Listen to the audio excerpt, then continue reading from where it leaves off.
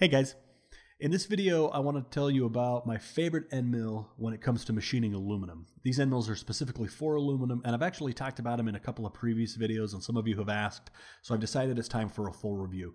Uh, right up front I want to say I'm not sponsored by the company that makes these end mills, which is called YG Tool or something like that.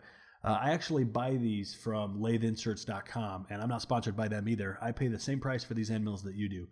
I was actually turned on to these end mills by a YouTube user, X Kenna, and he had told me about these end mills, and I bought some and, and fell in love with them. And then I actually later realized that he, I think he owns latheinserts.com, or at least he works for him.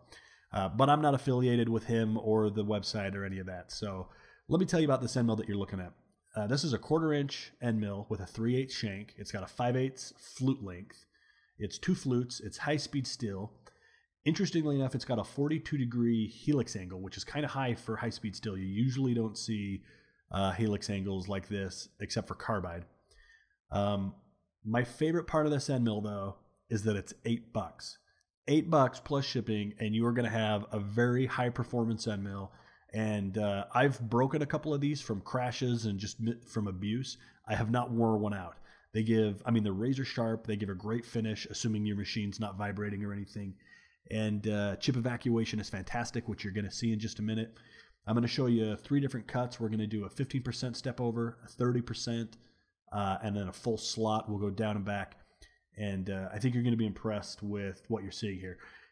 Go to latheinserts.com, check the link in the description, and uh, buy a couple of these. Tell me what you think. If you had a you know a heavier, more rigid machine, you're probably even going to get better results than what I'm getting because this mill does bounce around a little bit.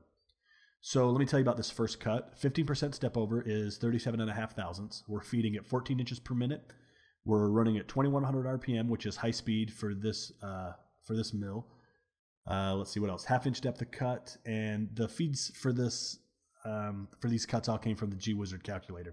You can see here there's a little bit of a uh, well, you're probably gonna have to go to 1080p to, or 1080 to look at this, but the surface finish is not great. But I think that's more a function of the of the uh, rigidity of the mill because on this next one we're going to do a 30% step over which is 75 thousandths with a cut. Slow the feed way down to 5.5 again 2100 rpms half inch depth and the finish comes out uh, quite a bit smoother. So i think we've really got it dialed in with this 5.5 inches per minute.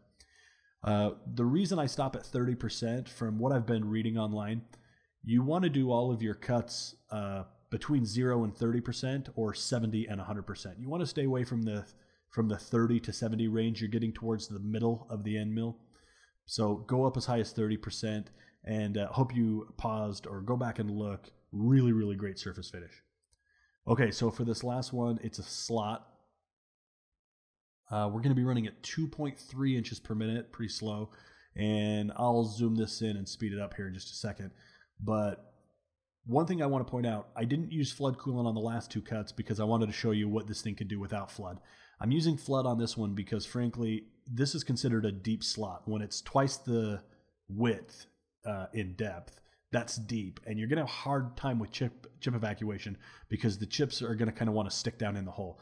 Now, in the past, I've just used my shop vac. I've got a small shop vac that I use, and it literally will just suck the chips right out of the hole. But with flood coolant, you can see with the lubricity, I mean, the chips just climb out of that slot. I mean, just look at the aluminum pile up. It's fantastic.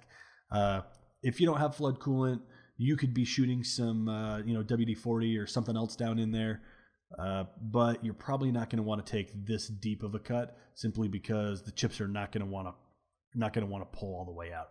Now, this end mill does have a lot better chip evacuation than end mills that have a lower helix angle, but again, you kind of need that lubrication to help the chips come out of there.